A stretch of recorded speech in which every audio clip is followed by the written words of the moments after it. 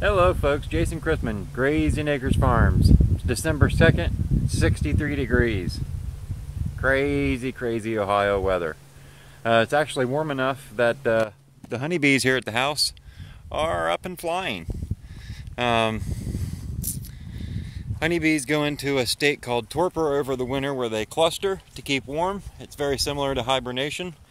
And uh, when they get warm weather, they like to go out and take cleaning flights. So it's pretty cool to see the honeybees all out today flying around. Um, gets me a little bit excited. But today what I'd like to talk about is preparing for the cold weather that's yet to come. Um, it's a pretty common practice during the winter on a daily basis that I have to break huge chunks of ice off the water in the stock tank for the cattle to even be able to access water or to give me a place to stick water for them. So the last couple weeks I've been doing some uh, research and the research led to some experimenting. I'm going to show you what I've been playing with. So what we've got here is basically an, a battery powered aquarium pump um, with a solar charger. Um, I've been playing with this long enough now that I'm able to uh, control the voltage. Now to give you an idea, 27 hours ago I turned this on and it has not shut off since. Um, when I started it, it had a full battery. It was reading 6.41 volts. Um, overnight, um, this set up in my kitchen overnight. Ran all day yesterday. We had a cloudy day, so I didn't see any reason to bring it outside.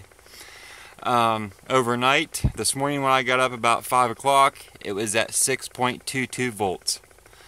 Um, with the sunny weather, I decided to bring it outside, and you can see it's hopped back up to 6.32 now. So it is climbing. Um, it's starting to give me a little bit of uh, hope that this might actually work. So the plan is is to drop that aquarium hose down in the stock tank, maybe hook it up to a bubble bar so that it drips or bubbles all the way across the stock tank instead of in one location. Um, that information I guess I'm yet to find out. But the plan is, if you keep the water moving, it won't freeze, right? So we're going to drop a bubbler down in there and hope that that will keep the water circulating and uh, make it a little less stressful on uh, me and uh, give me a place to stick some water for the cattle. That is the plan. Now as of right now, I've got it hooked up to this uh, control module so I'm able to adjust the voltage. I've got a 6 volt battery controlling all of this and uh, right now I've got it turned down to where it's getting very little volts. But let me give you an idea of what kind of range I've got here.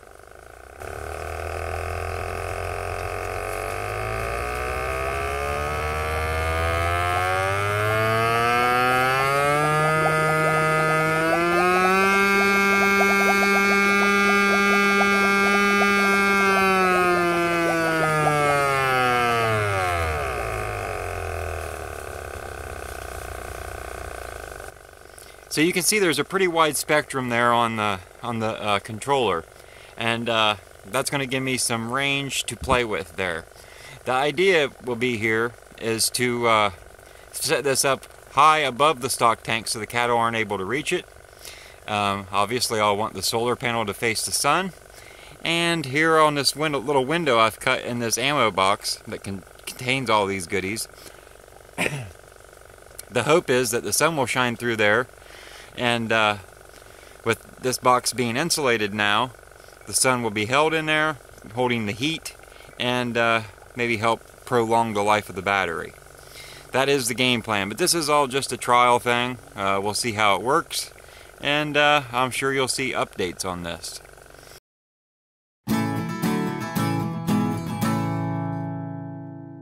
The last couple weeks here in Ohio, I've been dealing with some extremely cold temperatures overnight. During the day, we're not really getting above freezing, so I've had to battle the water troughs here at the farm and keeping the cattle in water. As you can see here, this is a 100 gallon trough, and only about 50 gallons of it is able to hold water right now because the bottom's full of ice. That's all I've been able to keep up with to keep chipped off is right there. So I've had some friends suggest or tell me about this method of putting a gallon jug on top of the water to let it float around how that's supposed to help slow down the freezing process. Um, there's always something floating around on top keeping the water moving, therefore it can't freeze. I've had some friends tell me that, you know, by the next morning it is froze, but it's not quite as thick as it was without the jug.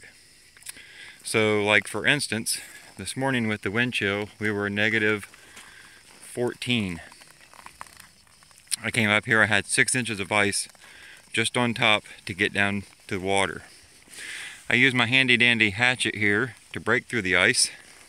So tonight I've set this up. I've got a gallon jug with a brine solution that I filled the jug about a third of the way full.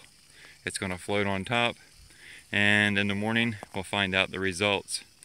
Supposed to get just as cold tonight so I think it's going to be a great night to do this experiment. To give you a little idea, this is the, the ice cemetery here behind me for this trough. And then you come over to this trough and their little ice, its little ice cemeteries over here. Um, I've had some people in the last couple of days tell me not to worry about giving them water, let them drink or lick the snow. So I did a little experiment. I took a five gallon bucket and I put, uh, packed it full of snow. Well, I didn't pack it. I filled it full without packing it. And took it in the house and I let it melt. My point was to show that licking snow might hold them over for a little bit, but it's not really an adequate source of water. So the next morning, the ice melted, and I weighed, or measured it all out. I got 18 cups. That's a gallon and two cups. Now, in my opinion, I don't see a cow standing around looking at five gallons worth of snow. And to give you an idea, that was three and a half inches of snow, three and a half inches deep, and it took an area eight foot by two foot with, with my snow shovel to fill that bucket. So I don't see cows standing around looking an eight foot by two foot area. I surely do notice that when I show up in the mornings, they quit licking the snow and come over here to get a drink of water, which is what they truly want. So we'll find out more in the morning, folks. Got to go. We're running over.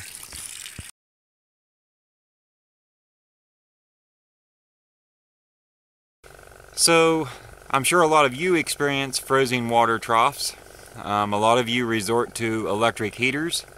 I'm kind of curious though, what do you grazers do that aren't grazing around electric? Because that's that's where we are. Um, it just so happens to work out that the pastures that we want to improve with bale grazing are nowhere around electric. So I've got to come up with something battery powered, solar powered, or somewhere along those lines. So, what do you think of the air bubbler? Will it work? Do you think it's iffy? Do you think I'm wasting my time? I'd love to hear some feedback, folks.